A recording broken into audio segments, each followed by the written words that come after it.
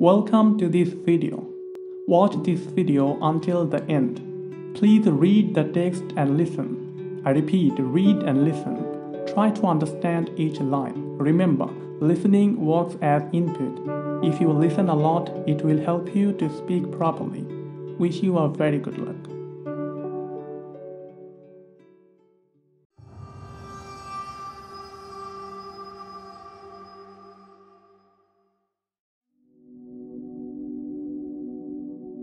One day I went to a friend's house.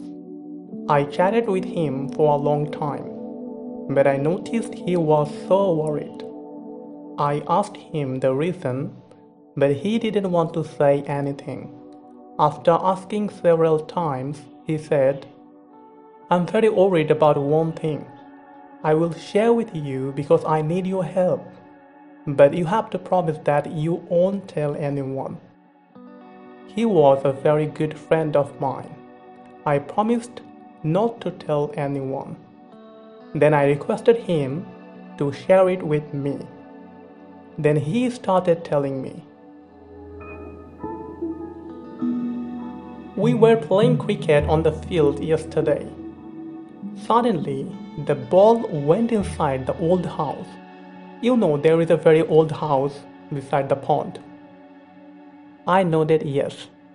Then my friend started talking again. We didn't find the ball even after searching for a while. Then we didn't play anymore, and everyone returned home. After that, I went to find the ball again alone. Because the ball was mine, I went inside the house to look for the ball. Suddenly, I saw an empty sock. Subconsciously, I moved the sock. Then I found the big hole. And I saw a box in the hole. I was scared and I ran away. I asked him, Why didn't you open the box? He replied he didn't understand what to do. I'm sure it was a hidden treasure, he said. I heard from my grandfather that there was a hidden treasure in this village, but nobody knows where it is. I think I have found it now. I was very surprised to hear the incident from my friend. I certainly believed my friend. Two of us then decided that we needed to bring the box as soon as possible. But after a while, I thought we should have informed the police. But we were not sure about it.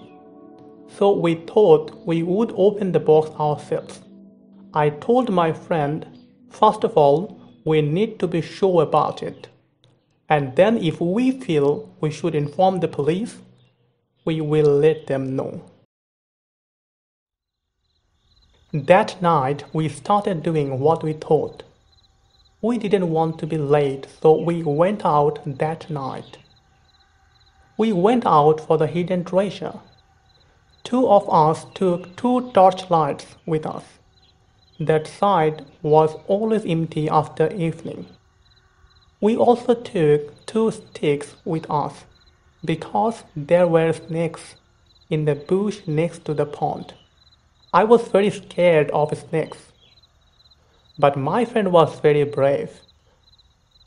After about 15 minutes of walking, we reached there. As soon as we came in front of the broken house, our bodies were creepy. We started going inside by removing the bushes with sticks.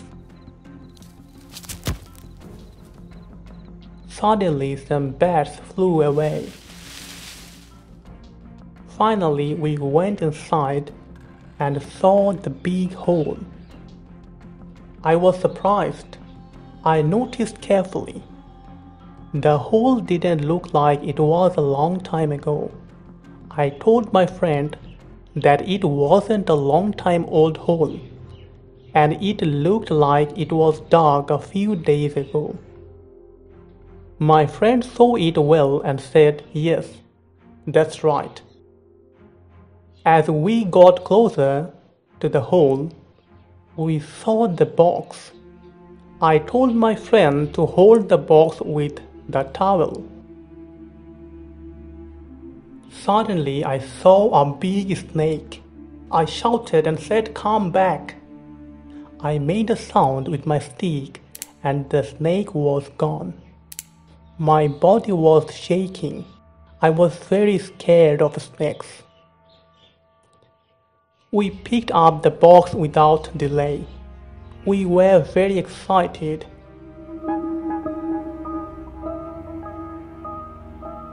We noticed the box didn't look like very old. We were shocked when we opened the box. It was not a hidden treasure as we thought. There were weapons in the box. We put the box back in the place with the towel again.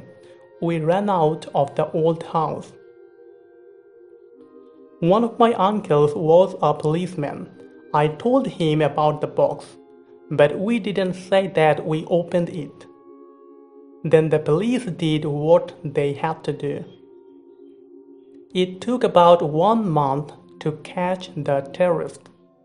Although we did not expect a reward, we were rewarded for finding the box.